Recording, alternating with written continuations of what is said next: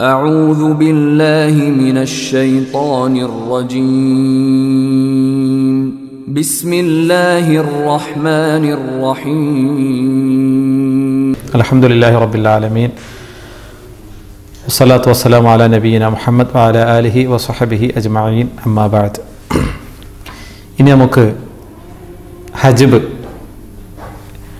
ഹജ്ബ് എന്ന് പറഞ്ഞാൽ രണ്ട് അവകാശികൾ.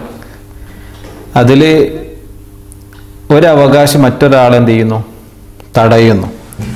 ഈ തടയുന്ന രൂപം രണ്ട് രൂപത്തിലായിരിക്കാം. ചില സമയത്ത് അവകാശം കിട്ടുന്നതിനെ പൂർണമായിട്ടും തടയും. ചില സമയത്ത് അയാൾക്ക് കിട്ടേണ്ട ഓഹരിയിൽ ഷെയറിൽ കുറവ് വരുത്തും. അതായത് ഒരു അനന്തരാവകാശിയുടെ സാന്നിധ്യം മറ്റ് മറ്റൊരാളുടെ അവകാശത്തെ കുറക്കുകയോ പാടെ ഇല്ലാതാക്കുകയോ ചെയ്യുന്നു. ബാക്കിയുള്ള തുടർ ഉദാഹരണത്തിലൂടെ ഒന്നുകൂടി വ്യക്തമാവും.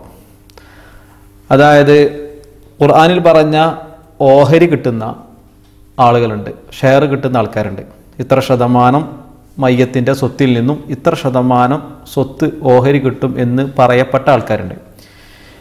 അപ്പോൾ ഒരാളുടെ സാന്നിധ്യം കൊണ്ട് ചിലപ്പോൾ അയാളുടെ ഓഹരിയിൽ ഇത്ര കിട്ടും എന്ന് പറഞ്ഞാൽ അതിൽ നിന്ന് ചിലപ്പോൾ എന്ത് ചെയ്യും? മറ്റൊരാളുടെ സാന്നിധ്യം കൊണ്ട് കുറവ് വരും.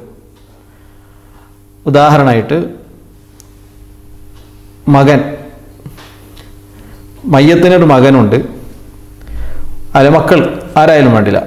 ആ സമയത്ത് മാതാവിന്റെ ഓഹരി എന്ന് പറഞ്ഞാൽ സാധാരണ നിലയ്ക്ക് മക്കളില്ലെങ്കിൽ മൂന്നിലൊന്നാണ്.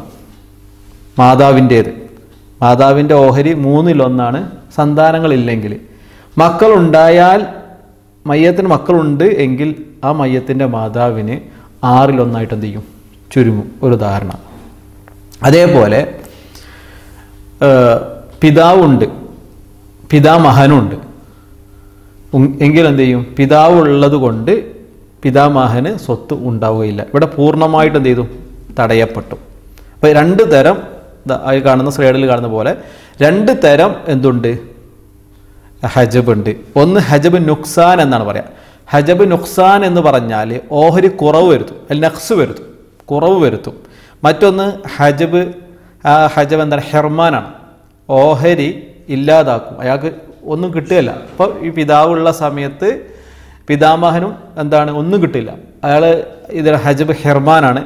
ഹജബ് നുക്സാനിൽ എന്ത് ചെയ്യും? കുറവ് വരും. മക്കളുള്ള സമയത്ത് മാതാവിന് ആറിലൊന്നായിട്ട് ചുരുങ്ങുന്നത് പോലെ മക്കളില്ലെങ്കിൽ സന്താനങ്ങളില്ലെങ്കിൽ മാതാവിന് മൂന്നിലൊന്ന് കിട്ടുമായിരുന്നു. അതുപോലെ നുഹ്സാൻ വരുത്തി. അടുത്ത ബന്ധു അകന്ന ബന്ധുവിനെ മറക്കുന്നു എന്നാണ് എന്ത് ചെയ്യും? തടയുന്നു എന്നുള്ളതാണ് ഇതിന്റെ പൊതു ഒരു നിയമം. അടുത്ത ബന്ധു എന്ത് ചെയ്യും? അടുത്ത ആൾ റിലേറ്റീവായിട്ട് മയ്യത്തിനോട് മയ്യത്തിന്റെ ശേഷക്കാരായിട്ടുള്ള മയ്യത്തിന്റെ പിന്മുറക്കാരായിട്ടുള്ള ആളുകൾ എന്ത് ചെയ്യും? അടുത്ത ഒരു ബന്ധുവിനെ. ഒന്നാമത്തെ ബന്ധം എന്ന് പറഞ്ഞാൽ മയ്യത്തിന്റേത് പിന്മുറക്കാരാണ്. പിന്മുറക്കാർ എന്ന് പറഞ്ഞാൽ മക്കൾ പേരമക്കൾ. ഈ ലെവലിലാണ് ഒന്നാമത്തെ മയ്യത്തിനോട് ഏറ്റവും സ്വത്തിൽ അവകാശത്തിൽ ഏറ്റവും കൂടുതൽ ബന്ധപ്പെട്ട് നിൽക്കുന്ന ആൾക്കാർ രണ്ടാമത്തത് പിന്നെ മയ്യത്തുമായി സ്വത്തുമായി ബന്ധപ്പെട്ട് നിൽക്കുന്നത് മുൻമുറക്കാർ. പിതാവ് പിതാമഹൻ. അങ്ങോട്ട് ഉള്ള ഒരു ബന്ധമാണ് രണ്ടാമത്തെ പിന്നെ സ്വത്തിന്റെ അവകാശത്തിൽ വരുന്നത്. മൂന്നാമത്തെ ഒരു സ്വത്തുമായിട്ട് അവകാശം മൂന്നാമത്തെ ശ്രേണിയിൽ വരിക പിന്നെ പാർശ്വക്കാരെന്ന് സഹോദരന്മാർ മയ്യത്തിന്റെ സഹോദരന്മാരാണ്. അപ്പോൾ ആദ്യത്തെ ഒന്നാമത്തെ ആളുകളുണ്ടെങ്കിൽ രണ്ടാമത്തിന് തടയപ്പെടും അസഭയിലാണെങ്കിൽ. രണ്ടാമത്തെ ടീം ഉണ്ടെങ്കിൽ മൂന്നാമത്തെ ടീം എന്ത് ചെയ്യും? ഈ പാർശ്വക്കാർ സഹോദരന്മാർക്ക് അപ്പോൾ പിതാവ് ഉണ്ടാവുകയാണെങ്കിൽ സഹോദരന്മാർക്ക് ആർക്കൊന്നും ഉണ്ടാവില്ല? സ്വത്തുണ്ടാവില്ല അവർ ഹജബ് ഹെർമാലിൽ പെടും. അപ്പോൾ ഇതിൽ ഈ അധ്യായത്തിൽ മനസ്സിലാക്കേണ്ടത് ഇത്രയേ ഉള്ളൂ. ഹജബ് എന്ന് പറഞ്ഞാൽ എന്താണ്? ഹജബ് എന്ന് പറഞ്ഞാൽ ഒരു അനന്തരാവകാശിയുടെ ഒരു അവകാശിയുടെ സാന്നിധ്യം മറ്റൊരു അവകാശി എന്ത് ചെയ്യുന്നു? തടയുന്നു. അതേപോലെ അത് രണ്ട് തലത്തിലുണ്ട്. ഒന്ന് ഹജബ് നുഖ്സാൻ അതായത് ഓഹരി കുറവ് വരുത്തുന്നു. രണ്ടാമത്തെ ഹജബ് ഹെർമാൻ. അത് എന്ത് ചെയ്യും? ഓഹരിയെ പൂർണമായിട്ട് ഇല്ലാതാക്കും നമ്മൾ പറഞ്ഞ ഉദാഹരണം തന്നെയാണ് ഇതിലുള്ളത്. ഹജബ് ഹെർമാൻ എന്ന് പറഞ്ഞാൽ അതിന് ഉദാഹരണം കൊടുത്തു. പിതാവ് പിതാമഹനെയും സഹോദരങ്ങളെയും തടയുന്നു. പിതാവ് പിതാമഹനെയും വല്യാപ്പയെയും സഹോദരങ്ങളെയും മയ്യത്തിന്റെ സഹോദരങ്ങളെയും തടയും. പിതാവ് ഉണ്ടായ പിന്നെ സഹോദരങ്ങൾക്ക് സ്വത്തില്ലാതാക്കും രണ്ടാമത്തെ ഉദാഹരണം പുത്രൻ പൗത്രനെ തടയുന്നു. മയ്യത്തിന് പുത്രനുണ്ട് പൗത്രനുണ്ട്. പുത്രനുള്ളത് കൊണ്ട് പിന്നെ ആർക്ക് സ്വത്ത് സ്വത്തുണ്ടാവില്ല? പൗത്രന് സ്വത്തുണ്ടാവില്ല സ്വാഭാവികം. മൂന്നാമത്തെ ഉദാഹരണം ഉറ്റ സഹോദരൻ. അതായത് മാതാവും പിതാവും ഒത്ത സഹോദരനുണ്ട്. അതേ കൂടെ അർദ്ധ സഹോദരനും ഉണ്ട്. എങ്കിൽ അർദ്ധ സഹോദരന് സ്വത്തുണ്ടാവില്ല. കാരണം ഒന്നും കൂടെ അടുത്തത് ആരാണ് മയത്തിനോട് ഉറ്റ പൂർണ സഹോദരനാണ്. രണ്ടാമത്തെ ഉദാഹരണം ഹജബ് നുഖ്സാൻ. ഹജബ് നുഖ്സാൻ എന്ന് പറഞ്ഞാൽ മക്കളുടെ അല്ലെങ്കിൽ വേറൊരു അവകാശിയുടെ സാന്നിധ്യത്തിൽ മറ്റൊരാളുടെ ഓഹരി കുറയുന്നു എന്ന് പറഞ്ഞു. അത് ഉദാഹരണമാണ് ഈ പറഞ്ഞത്. മക്കളുടെ സാന്നിധ്യത്തിൽ ഭർത്താവ് അല്ലെങ്കിൽ ഭാര്യയുടെ ഓഹരി എന്ത് ചെയ്യുന്നു? അതിൽ മാറ്റം വരും. ഉദാഹരണം നോക്കുക. മക്കളുടെ സാന്നിധ്യം ഇല്ല എങ്കിൽ മക്കളില്ല മയ്യത്തിന്. ഏ? മയ്യത്തിന് മക്കളില്ല എങ്കിൽ ഭർത്താവിന് പകുതി സ്വത്ത് കിട്ടും. അത് ഭാര്യയുടെ പകുതി സ്വത്ത് കിട്ടും ഭർത്താവിന്. ആ സ്ത്രീക്ക് ആ മയ്യത്തിന് എന്തില്ല? മക്കളില്ല എങ്കിൽ. ഈ ഭർത്താവ് ഈ ആണിന് വേറെ ഭാര്യയിൽ മക്കളുണ്ടോ ഇല്ലേ എന്നുള്ള ഇവിടെ വിഷയമല്ല. ഈ ഭാ ഈ പെണ്ണിന് ഇയാളുടെ ഈ ഭാര്യയ്ക്ക് ഈ മരിച്ച ഭാര്യയ്ക്ക് എന്തില്ല? മക്കളില്ല. എങ്കിൽ അയാളിൽ തന്നെ ആവണമെന്നില്ല വേറൊരു ഭർത്താവിലും മക്കളായാലും മതി.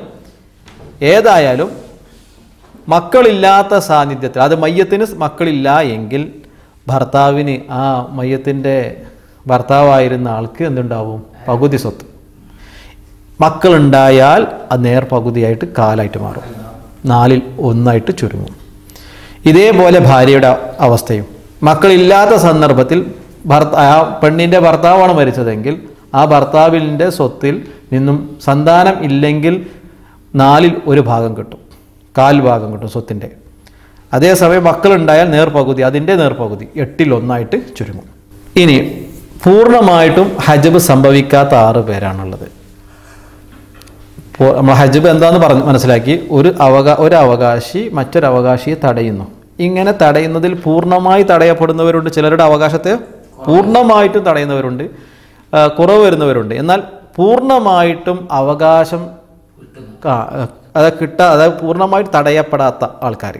ഇവരെ അവകാശത്തിൽ ഓഹരിയിൽ അല്പം കുറഞ്ഞ് കുറവ് വന്നാലും പൂർണമായിട്ട് എന്ത് ചെയ്യില്ല ഹിർമാൻ ഹജബ് ഹിർമാൻ ആവുകയില്ല. അതാരൊക്കെയാണ്? പുത്രൻ.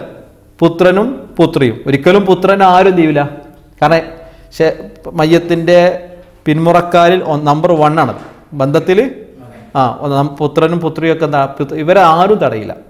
ഇവരൊന്നും ആരും തടയുകയില്ല. ഇവർക്ക് കാരണം ഇവരാണ് ഒന്നാമത്തെ ആൾക്കാർ. പിന്നെ ആണ് തട പിന്നെ തടയുന്നത് പിന്നെ ഹുസാം വരുന്ന ശേഷമാണ്. പിതാവ്. പിതാവ് മാതാവ് ഭർത്താവ് ഭാര്യ. ഇവർക്ക് ഏത് നിലക്കായാലും സ്വത്തുണ്ടാവും.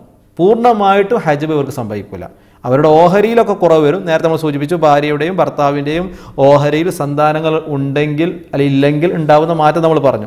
ഭർത്താവിന് മയ്യത്തിൽ ആ ഒരു ആണിന് ആ ആണിന്റെ ഭാര്യ എന്ത് ചെയ്തു? മരണപ്പെട്ടു. ആ ഭാര്യയ്ക്ക് ഒരു കുട്ടികളുമില്ല. എങ്കിൽ ഇയാൾക്ക് പകുതി സ്വത്ത് കിട്ടും. ഭാര്യയുടെ പകുതി സ്വത്ത് കിട്ടും. മക്കളുണ്ടായാൽ കാൽ ശതമാനം കിട്ടും. നേർ പകുതി കിട്ടും. നാലിലൊന്ന് കിട്ടും. എന്ന് നമ്മൾ പറഞ്ഞു. അപ്പോൾ ഹജബ് ആയിരിക്കാം. പക്ഷെ എന്തുണ്ടാവില്ല? പൂർണമായിട്ടും ഹജബ് സംഭവിക്കാത്ത ആളുകളാണ്. ഹജബ് തീരെ ബാധിക്കാത്ത ആളുകളാണ് പുത്രൻ പുത്രി ഇവരാരും തടയില്ല. ഹെർമാനോ നുക്സാനോ വരാത്ത ആൾക്കാർ പുത്രനും പുത്രി മക്കൾ സന്താനങ്ങൾ ആരും ചെയ്യൂല ഒരു നിലക്കും. നുഹസാനാവട്ടെ അതുപോലെ ഹെർമാനാവട്ടെ ഒന്നും തടയുകയില്ല.